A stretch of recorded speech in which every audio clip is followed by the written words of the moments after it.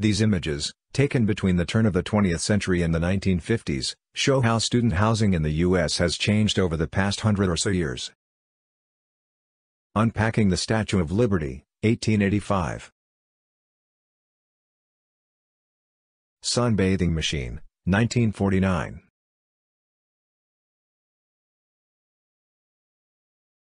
The 1960s automobiles belong to a distinct decade of automobile history with the advent of economy, muscle and pony cars.